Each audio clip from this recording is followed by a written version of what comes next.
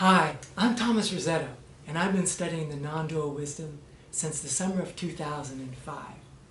And um, one of the things that's most important is this idea of non-duality, which actually points to the idea that God and creation are one reality, not two.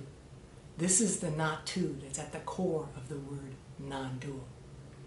And we use this word because when God arises as creation, there is a full saturation.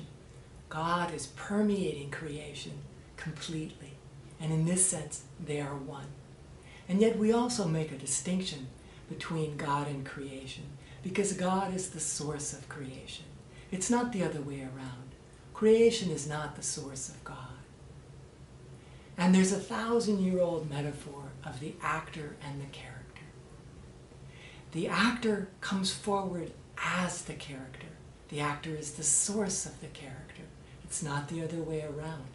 They have a dependent relationship in the sense that the character is dependent upon the source, the actor. And yet, when the actor brings forward the character, they are one. Every single quality or aspect of the character is a quality or aspect that is put on exhibit by the actor. What appears to be the will and power of the character are actually the will and power of the actor. When you look into the eyes of the character, you're looking directly into the eyes of the actor. You don't need to dig into a deeper level to find the actor. The actor is fully present at every level, and so it is with God. Every single aspect of creation is fully permeated with God, the Creator. And this is why we say they are one. Thomas, Yes, Timothy. speak about how God is not an it, an object out Ah. there up in the sky, the big guy in the sky, but is transcendently beyond all, yet right here within all as the very self of all selves. Yes, this wisdom comes about when you when you go into the question of who am I. At first there's the question, am I just a body? And then there's the recognition that there's a body and a soul. But when you recognize that you are pure awareness, and when you discover that this pure awareness is the divine awareness, it's the source awareness, it's the creation, the creator of all of creation, and therefore it is transcendent.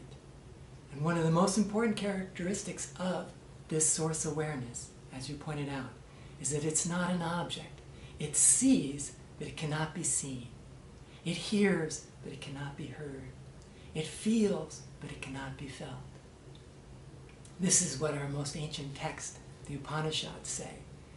And to what the Upanishads put on the table, which is all very beautiful, I like to also add that this source awareness is the undreamt dreamer of dreams.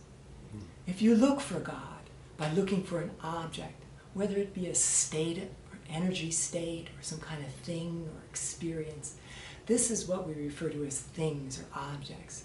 And when you find these energy states, some of them quite divine and make you feel really good, these are not to be put down. They're to be honored for what they are. But they're energy states, and they are not the actual source awareness, which is beyond all of our senses and is therefore um, unknowable as an object. Yet the beauty of it is that we can know it because we are. If we were going to talk about something that's completely invisible, like gravity, we would get to know it by looking at its effects. But this is something that we can get to know because we are this. This knowing by being, Yes. Direct. Yes. yes immediate, knowing. utterly intimate. Yes. And this recognition is what opens up the heart because we now see that this open source awareness that comes forward as all of creation is the one self, the capital S self, that comes forward as all apparent selves. And in this, we recognize that this person and this person and all persons are an emanation of this one self. And so everyone is the face of the divine. And here we have the true, deep motivation for compassion and loving kindness. Because this great reality, the self of all selves, is not impersonal but suprapersonal. And so each person is a beautiful gift within the dream play of relationship and mutual feeling and again loving kindness, compassion and sympathetic joy as the Buddha taught 2500 years ago. How was your experience of finding this one self in each personal self, this suprapersonal that's personing as each one? Talk about your daily experience of this. Well, I would say many years ago I had an intuitive understanding of this that grew and grew.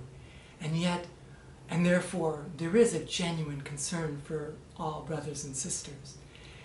And yet, when this wisdom, this understanding, this deep understanding that this person is you, that every single person is a unique expression of this one divine self, and therefore is honored where they are, how they are.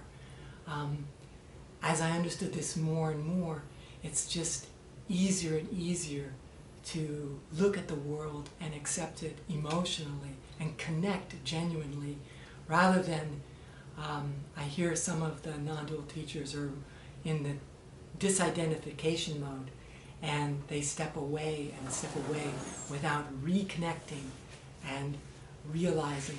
You step away from this small idea of me being this one little person and you reconnect with everyone and recognize and you live from this openness and recognize that everyone is the divine and therefore the heart opens up and the divine virtues flow forward. Thank you so much for having this quick little talk. Most excellent, Brother Thomas. Most excellent. Namaste. Namaste.